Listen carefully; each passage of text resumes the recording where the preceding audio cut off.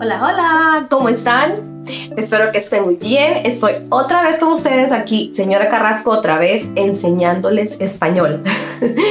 bueno, perdón, I'm so sorry porque estuve ausente, estuve ausente. I've been absent for about two or three months.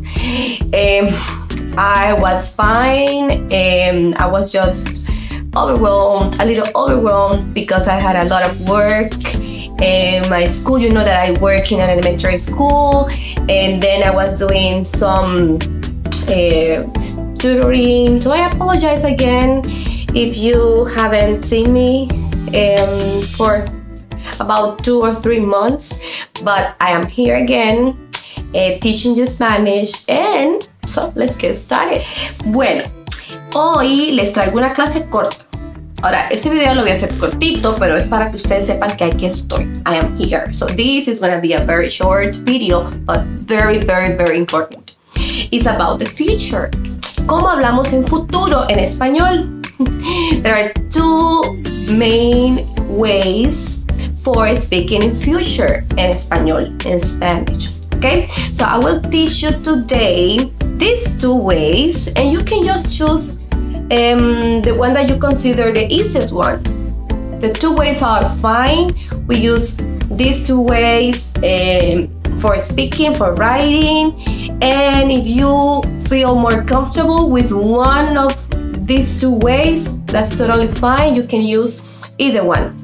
Ok, so comencemos. Para hablar en futuro, nosotros, eh, como en inglés, usamos como en inglés tú usas going to y también usas eh, will. Bueno, en español también tenemos dos formas, two ways. Eh, la primera forma eh, es, tengo aquí marcadores. Hoy estoy con mi pizarra. Maestra, pizarra, marcadores. ¿Ok? Entonces, cuando hablamos en futuro en español también tenemos dos formas. El voy a, que es como el going to, entonces es esto, así, es. Ok, mejor. Entonces, la primera forma es, esta es la primera forma, voy a. Esto es para, eh, this, we use these two words when we talk about the future. Entonces, esto es como decir going to en inglés. Entonces, voy a. Recuerda que en español we don't need to add the subject, the pronoun here. No, eh, we don't need to do that in Spanish. Remember, if you uh, haven't watched video where I explain this about important things in Spanish that we don't do in English, you can watch the video that is suggested up here. Ok, entonces voy a, repite, voy a.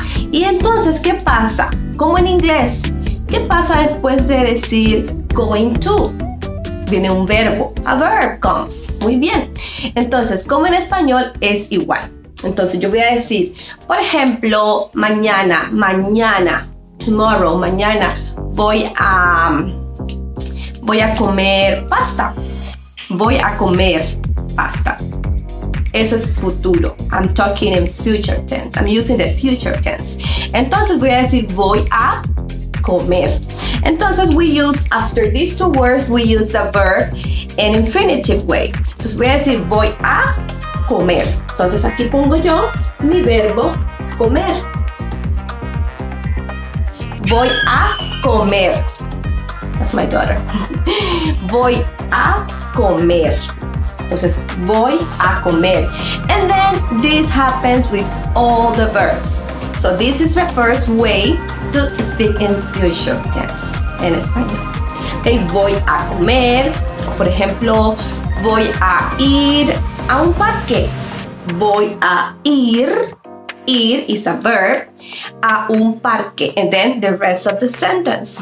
Okay, voy a ir es como going to. Eh, voy a ir, ir is a verb to go. Ir. Entonces, voy a ir es to go. Voy a ir, voy a jugar, to play, voy a jugar. Okay, so this is the first way uh, for speaking in future tense in español. Now, what is second way?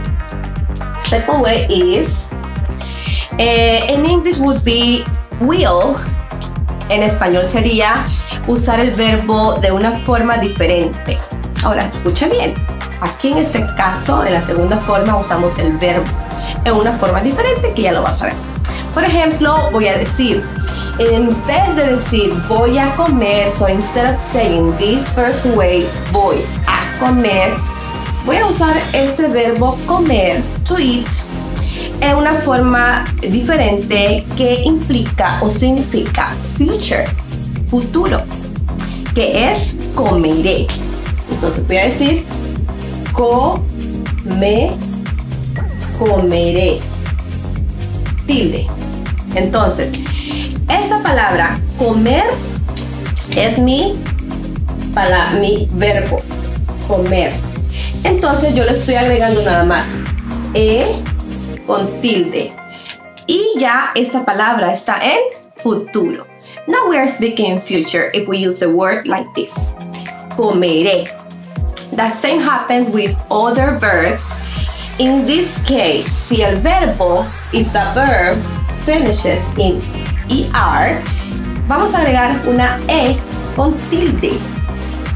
Ok, entonces, ahora, ¿cómo sería otro verbo que termine en ER? Recuerda, cuando el verbo termina en ER, ER, cuando queremos hacer esa palabra y hablar en futuro, en future, nosotros decimos comeré. Comeré. Termina en ER. I just need to add E at the end of the word. En tilde. Comeré. Now, what happens with another verb that finishes in ER too? Por ejemplo, el verbo beber, to drink, beber. Entonces voy a decir, be beber.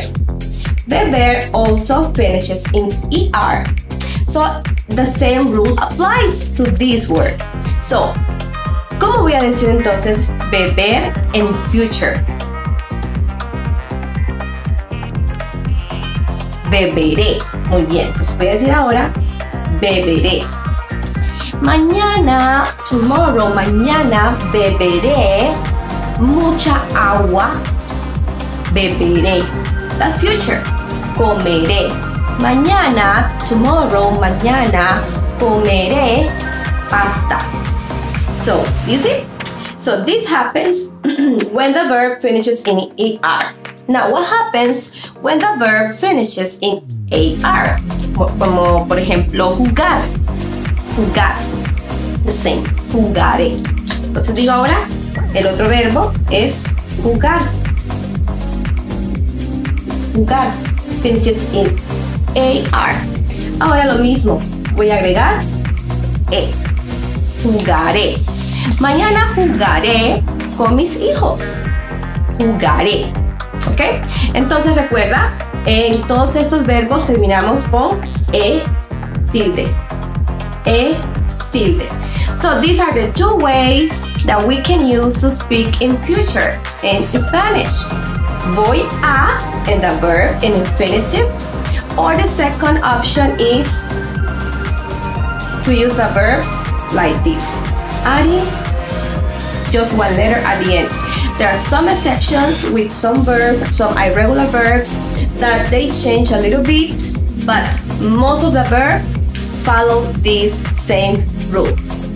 Eh, espero que hayan aprendido un poco hoy as I told you before, it is a short video, but I think it's very important. This information is very, is very important and we, when we have to speak on future tense. okay. Espero que les haya gustado. Eh, prometo que voy a estar haciendo más videos. I promise you, I will be making more videos more regularly and explaining very important and essential things in Spanish for you to learn Spanish quick, fast. Okay? Bye bye. See you in another video. Adios.